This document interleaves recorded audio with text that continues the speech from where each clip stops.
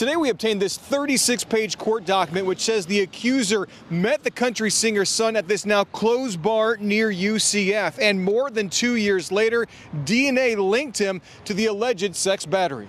22 year old Theodore Tippin was in front of a judge this week facing a charge of sexual battery on a physically helpless person.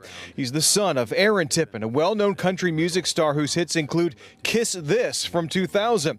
Today, WESH 2 obtained court documents showing the incident happened in 2017. A UCF student allegedly met the suspects at a bar near campus that is now closed and blacked out after leaving. The documents say two years later, FDLE got a hit on DNA collected from the accuser, and it matched Theodore Tippin. Records show Tippin had to provide a sample of his DNA after a different 2017 case in Pasco County. In court on Monday, prosecutors said in that previous case, Tippin was charged with child abuse.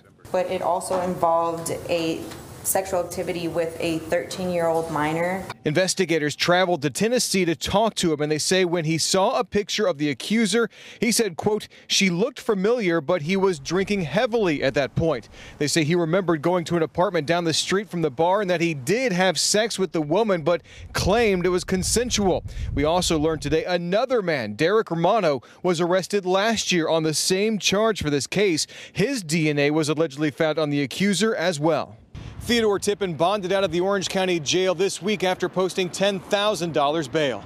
Reporting near UCF, Bob Hazen, WESH 2 News. And